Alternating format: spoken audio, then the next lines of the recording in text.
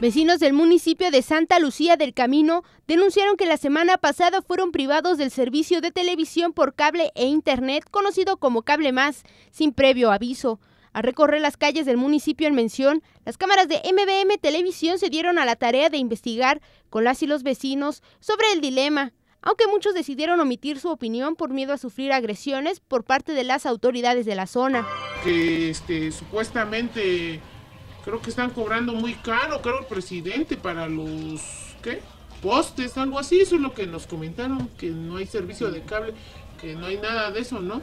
Que no tienen internet, que no tienen eso y que cómo va a ser, pues porque pues no tienen no, ya lo pagaron, mero pagaron el mes y ahora resulta que no, pero que iban a ir al municipio a ver qué, por qué, porque dice que creo que del ese de cable dijo que pues que el problema no no era de ellos sino que era de aquí del pueblo porque les estaban cobrando mucho por parte del presidente. Los habitantes argumentaron que los trabajadores de la empresa acudieron al municipio para cortar la línea. Al percatarse de los hechos, los inconformes cuestionaron a los trabajadores de Cable Más del porqué de la acción estos argumentaron que se retiró el servicio luego de que el presidente municipal de Santa Lucía del Camino, Galdino Huerta Escudero, está cobrando una cuota a la empresa para que ésta pueda ofrecer sus servicios.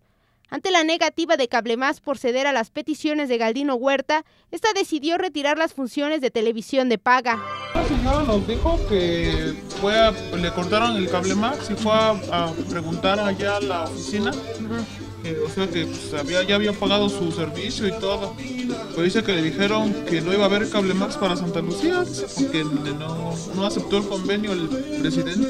Ahí fíjense, en la esquina y están cortados los cables.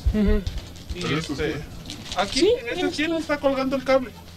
Y se supone que ya tumbaron las tres cabezas que, que dan la señal acá, ya las tumbaron. Lo hemos ido a preguntar, ¿verdad? Apenas eso está. al, al cable, al 0800. Y ahí nos dijeron el día sábado que, que había un, un problema general porque estaba muy fuerte el viento. Nos dijeron. Eso fue sábado. Luego domingo, ayer volvimos a marcar y entonces nos dijeron que era un problema en el municipio.